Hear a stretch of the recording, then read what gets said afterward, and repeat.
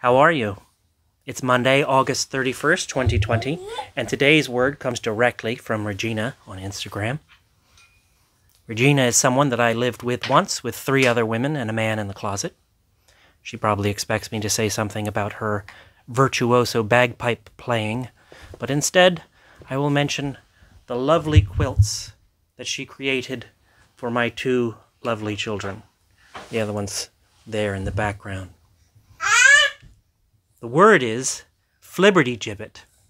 F L I B B E R T I G I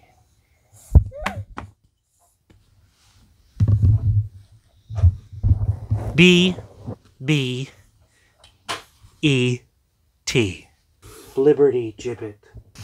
If you have a word you would like me to spell, get it to me any way you can, and I will try and spell it.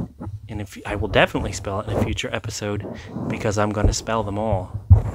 Until then, have a wonderful week and don't let anybody rush you.